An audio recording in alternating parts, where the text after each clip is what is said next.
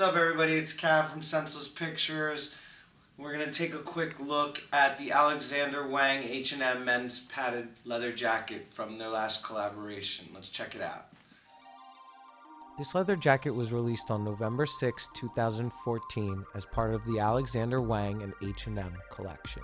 In total, there were over 40 items released in the collection that day at select retailers and online. The suggested retail price was $349 and with tax came out to $379.97.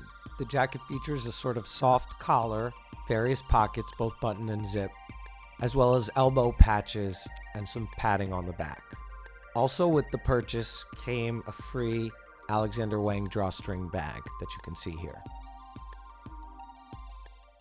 And uh, let's try it on, and see how it fits. This is a medium. I'm about 165 pounds, and uh, and as you can see, the medium is a little tight on me. The sleeves are kind of short. Um, and when I zip it up, let's see, it's pretty small. So if you're looking into buying this jacket, you might want to buy a size up. All right, that's the jacket. If you like this, check out the other items from the Alexander Wang H&M collection.